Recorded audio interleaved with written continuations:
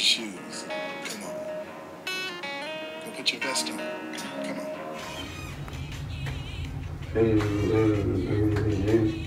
Oh, my bad.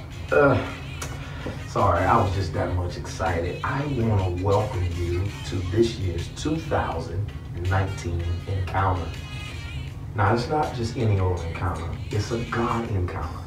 Can you do me a huge favor? Can you tell the person next to you, I'm so glad you're here? That's right.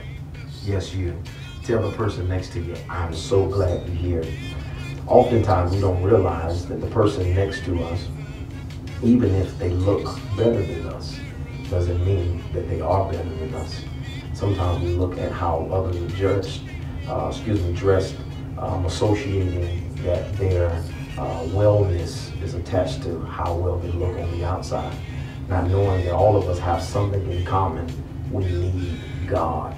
This is a time like never before. So many trials and tribulations and things are going on. Maybe in your finance, maybe in your health, uh, maybe things in your family, um, things that the enemy has even plagued your mind with. Um, you're saying, I need clarity, I need direction. And Father, in order for me to be able to go to the next level, I need to know what are you saying right now for my life. And so this is what this is really about. It's about taking the time to really empower you at your core.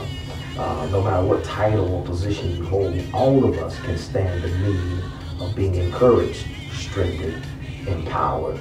What a time that we've had thus far the last few years. I want to thank God for all the partners and pastors and my friends for being a part of what God has given us um, to set forth uh, in this time that the people of God will be encouraged, empowered, motivated, and directed for the next dimension of your life.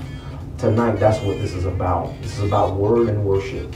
Know, about nothing about preliminaries or uh, any type of titles. Nobody is exempt, but we're laying all that down tonight. We're saying, oh, God, I want to be transparent. I want to be vulnerable. I'm so open for you because I want to hear you. But once again, I want to tell each and every one of you, I love you so very much and thank you for being a part of this God experience. Woo woo. Let's do it.